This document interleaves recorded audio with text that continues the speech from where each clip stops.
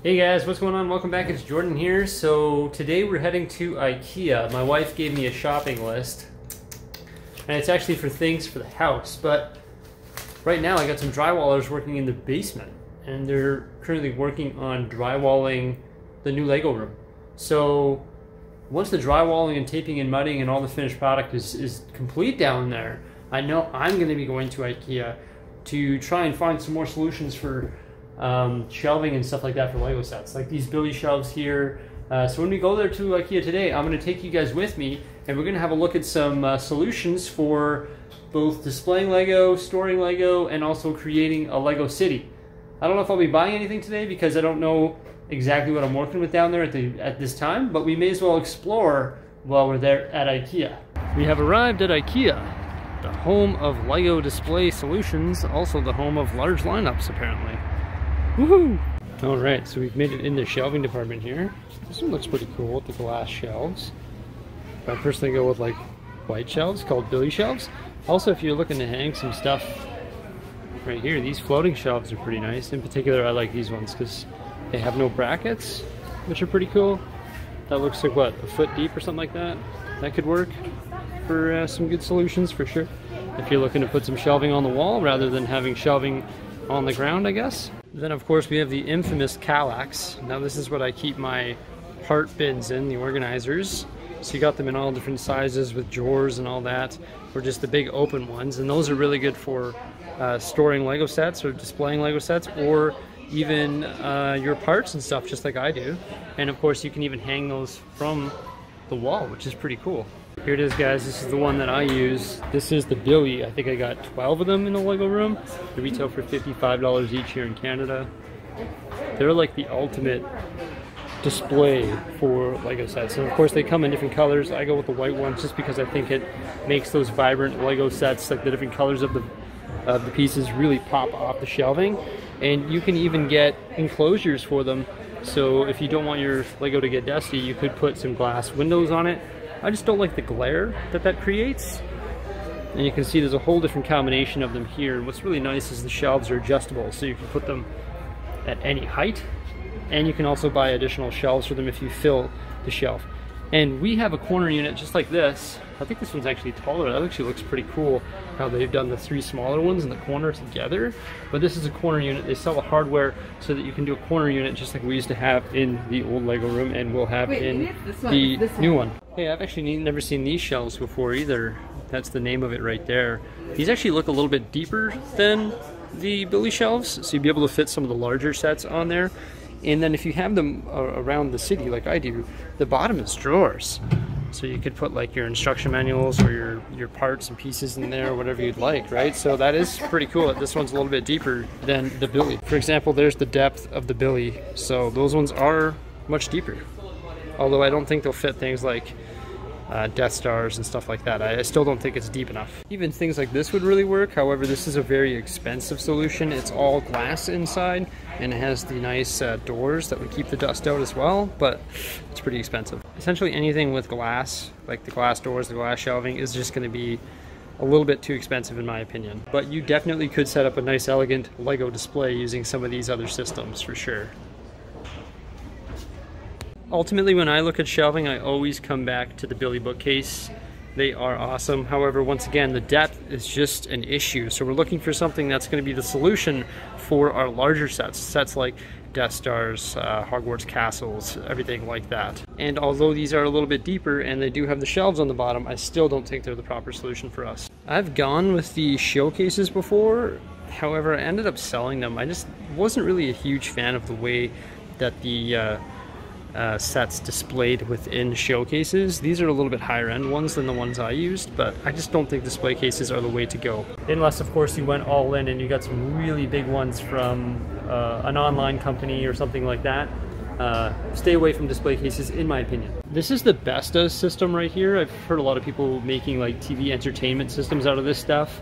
Um, definitely could work. You got your depth there for sure. Um, a little bit higher on the price. I don't really see any really wide ones. I'm sure they offer some solutions for us in the Bestas if we're looking to store larger sets in a deeper shelf. Hey, look, it's a cup. You could put Lego in there.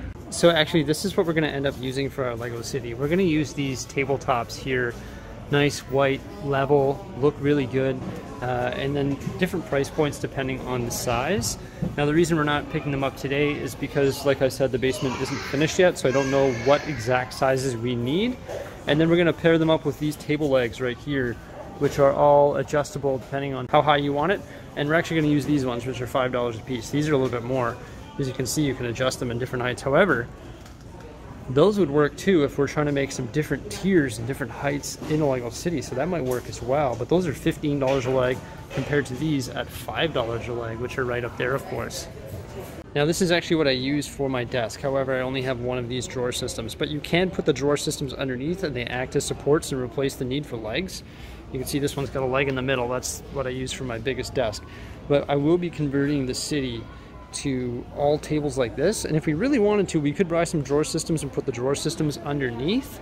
Um, but I think for the most part, it's gonna be legs because I really want to um, build some scenes under there. And if we put drawer systems under there, it's just not really gonna work for us. But that's what we will be building the new Lego City on. It's gonna be a combination of these two legs and also the white tabletops. Just got to find the right combination that's going to work best to fill the room and give us the most accessibility. I so badly want to buy some of these today, but I just can't because I, I am scared I'm going to buy the wrong ones and just like be further behind than when we came in here today. You know what I mean?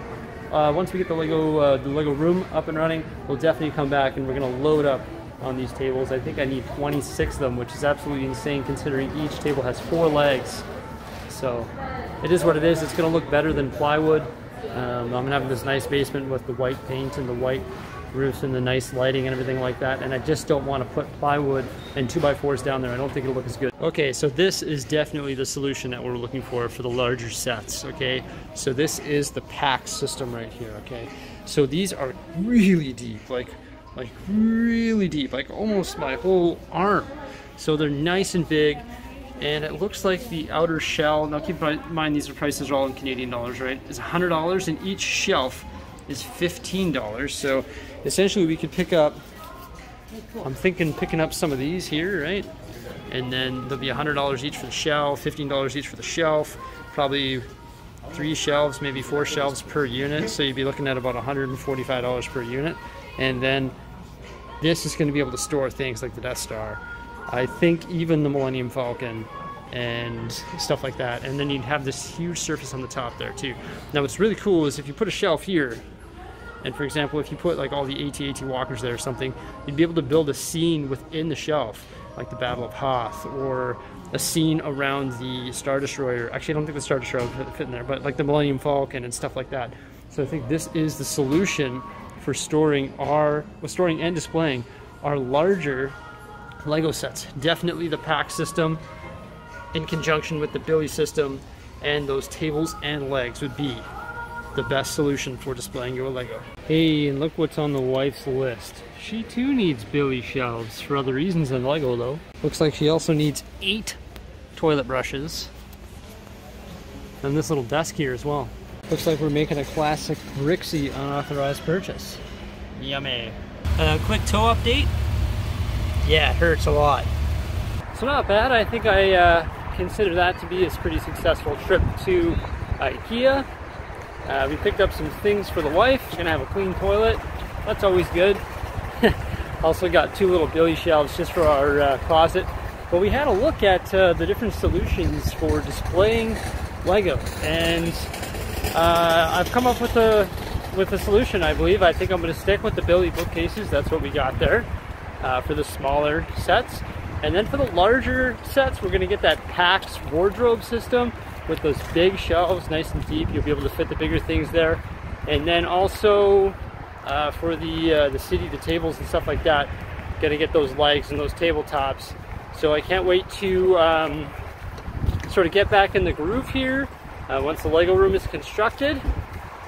And maybe eat a quick cinnamon bun for the uh, ride home there. But we'll definitely be back here in the near future once the construction of the Lego room is done. And we're going to be buying some of those uh, PAX systems and also all the tables and legs required to rebuild Brickmanton. Woohoo! I'm pretty pumped up. So if you guys like this video of all the different LEGO display solutions found at IKEA, remember to give it a thumbs up, subscribe, and stay tuned for some more great stuff coming out in the near future. Thanks for watching. Bye for now. I wanted to give a special shout out to all the people who supported me using Super Chat and Super Stickers during my live streams. Thank you so much, it's highly appreciated, and make sure you stay tuned for more live streams as I'll be building all of my LEGO sets using the live stream function here on YouTube. Thanks a lot, stay tuned, and we'll see you again. Bye for now.